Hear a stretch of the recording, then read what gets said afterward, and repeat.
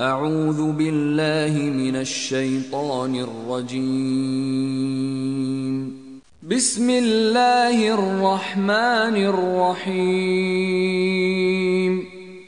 So have you considered Al-Lat and Al-Uzza and Manat, the third, the other one? Is the male for you and for him the female? That, then, is an unjust division. They are not but mere names you have named them, you and your forefathers, for which Allah has sent down no authority.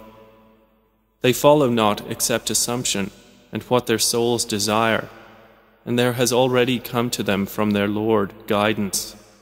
Or is there for man whatever he wishes? Rather, to Allah belongs the hereafter and the first life. And how many angels there are in the heavens whose intercession will not avail at all, except only after Allah has permitted it to whom He wills and approves. Indeed, those who do not believe in the hereafter name the angels female names. And they have thereof no knowledge. They follow not except assumption, and indeed assumption avails not against the truth at all.